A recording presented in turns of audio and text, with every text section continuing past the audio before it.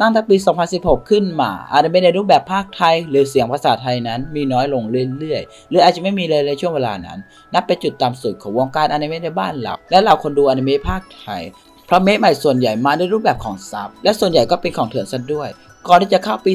2018 ที่แอป AAS Play มีการนำอนิเมะในเครือข่ายอนิพลัสมาลงให้เราได้รับชมกันแบบฟรีๆ ซึ่งนั่นเป็นจุดเริ่มต้นใหม่ที่ดีของวงการอนิเมะในบ้านเรา เพราะว่าหลังจากนั้นมีช่องทางการดูอนิเมะลิขสิทธิ์แท้มากขึ้น แต่มันก็ยังคงไม่มีวิวแววของภาคไทย ซึ่งถ้าให้ผมคาดเดาผมคิดว่าทางผู้ใหญ่ก็คงยังไม่กล้าลงทุนมากนะเพราะการทำอนิเมะภาคไทยนะมันต้องใช้นักภาคและมันต้องใช้เงินที่เยอะ ถ้าทำออกมาแล้วคนจะชอบกันหรือเปล่า อันนี้ก็ไม่รู้ เพราะว่ามีหลายคนที่ไม่ชอบภาคไทย นั่นจึงเป็นอีกหนึ่งสาเหตุมั้งนะ จนปี 2020 นี้ที่มีวิแววกันมาของอนิเมะภาคไทย และแล้วในที่สุดก็มีอนิเมะใหม่ๆ ที่เป็นภาคไทยกันสักที และมันมีมากขึ้นเรื่อยๆ โดยที่เราไม่รู้ตัว ถึงมันอาจจะไม่ได้มากเท่าสมัยก่อน แต่ก็นับว่าเป็นข่าวที่ดีเลยล่ะ และสำหรับในคลิปนี้ผมขอแนะนำ 7อนิเมะมาใหม่พากย์ไทย ที่คุณไม่ควรพลาดเด็ดขาด และอนิเมะในต่อไปนี้เนี่ย มันมีให้ดูแบบถูกลิขสิทธิ์ทั้งหมด ปล. อนิเมะใหม่ในนาทีนี้คืออนิเมะที่มันนับจากปี 2018 ขึ้นมานะ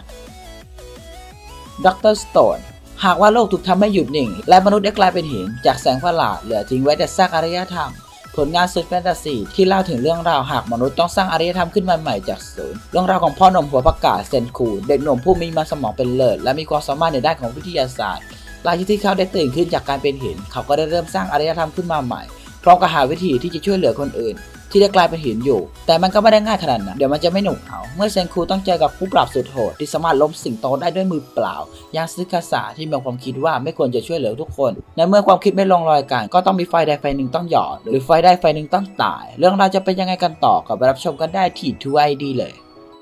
Black Cover อีกหนึ่งผลงานที่เล่าเรื่องราวในโลกแฟนตาซีที่เวทมนต์คือทุกสิ่ง และทุกสิ่งคือเวทมนต์เรื่องราวของสองเด็กกำพร้าที่ถูกทิ้งไว้หน้าโบสถ์ในหมู่บ้านเล็กๆแห่งหนึ่งยูโนและแอสตายูโนเป็นคนที่หล่อและมีพรสวรรค์ในการใช้เวทกลับกันแอสตานั้นแทบจะไม่มีพลังเวทในตัวเลยแต่ทั้งสองคนก็ได้สัญญากันว่า เมื่อโตขึ้นทั้งสองจะเป็นจักรพรรดิเวทมนต์ให้ได้ ถึงถึงยูโน่น่ะจะไม่มีปัญหาอะไรเพราะว่าเขานั้นมีพลังเวทที่เยอะมาก แต่แอสตานี่สิที่ต้องพบเจอกับปัญหาและคำดูถูกมากมาย และท้ายที่สุดแล้วทั้งสองคนจะทำตามความฝันได้ไหม ก็ไปรับชมกันได้ที่ TrueID เลยครับ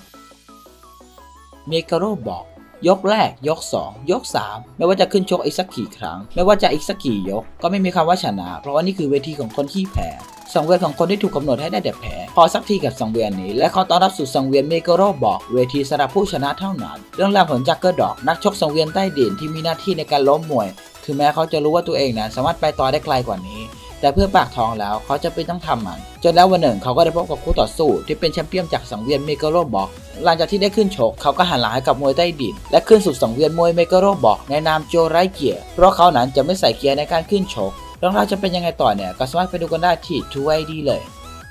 คิเมตสึโนะไยบะหากจะกล่าวว่านี่คือผลงานอนิเมะที่ร้อนแรงที่สุดณทศวรรษนี้ ผมก็คงพูดได้เต็มปากกับผลงานล่าสุดเรื่องนี้ ที่กระแสมันยังคงร้อนแรงอยู่ เรื่องราวของพ่อหนุ่มขายถ่านคามาโดะทันจิโร่ที่ได้ลงเขาไปขายถ่าน แต่พอกลับมาบ้านก็พบกับซากศพของคนในครอบครัวที่ถูกอสูรสังหารเหลือทิ้งไว้แต่น้องสาวคนโตที่ยังคงหายใจอยู่ และท้ายที่สุดเธอก็ได้กลายเป็นอสูรเพื่อนำน้องสาวคนเดิมกลับคืนมา ทันจิโร่จึงฝึกการเป็นนักล่าอสูรเพื่อหาวิธีที่ทำให้น้องสาวกลับมาเป็นมนุษย์อีกครั้ง เรื่องราวจะเป็นยังไงต่อเนี่ยก็สามารถไปดูกันได้ที่ LINE TV เลยนะครับผม และในสิ้นปีนี้เนี่ยยังมี The Movie อีกด้วยนะครับ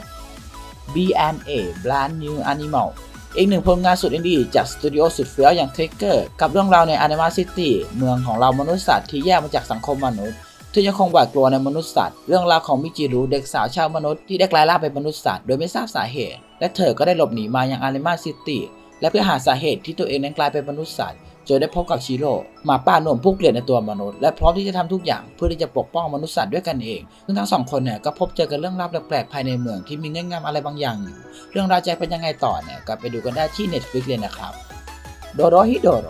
ผลงานสุดแปลกสุดอินดี้ที่มาทั้งความฮาความโหด กับเรื่องราวยุ่งๆในโลกที่มันยุ่งเหยิง เมื่อเหล่าผู้ใช้เวทใช้ประตูเปิดมาที่เมืองโฮลเพื่อทำการทดลองเวทมนต์ของตัวเอง โดยใช้คนในเมืองโฮลเป็นหนูทดลอง จนทำให้สภาพคนในเมืองไม่สมประกอบ เต็มไปด้วยคนแปลกๆจนกลายเป็นเรื่องธรรมดาของเมืองไป โดยเรื่องราวจะกล่าวถึงไคมัน ชายที่ถูกสาปให้หัวนั้นกลายเป็นอีกัวน่าพร้อมกับความทรงจำได้ถูกลบทำให้เขานั้นไม่รู้จักแม้กระทั่งตัวเอง เขาจึงตามหาผู้ใช้เวทที่สาปเขาเพื่อมาแก้คำสาปให้ตัวเอง พร้อมกับคู่หูอย่างนิไคโด เรื่องราวจะเป็นยังไงต่อเนี่ยก็ไปดูได้ที่ Netflix เลยนะครับ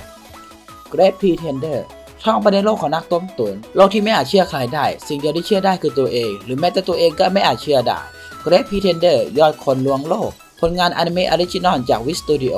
ที่มีให้ดูใน Netflix เรื่องราวของเอดามูระ มาโคโตะนักต้มตุ๋นที่เรียกตัวเองว่าที่สุดในญี่ปุ่น จนแล้วต้องไปพัวพันกับการต้มตุ๋นระดับโลก ที่แม้แต่ตัวของเขาเองเนี่ยก็ไม่อาจจะนึกได้ เมื่อเขาได้ไปล้วงกระเป๋าฝรั่งหัวทองโลรอง นักต้มตุ๋นระดับโลกที่ลวงโลกมาแล้วนับไม่ถ้วน เรื่องราวจะเป็นยังไงต่อเนี่ยก็ไปดูกันได้ที่ Netflix เลยนะครับผม เรื่องนี้เนี่ยผมแนะนำจริงๆนะผมมันสนุกมากเลยล่ะ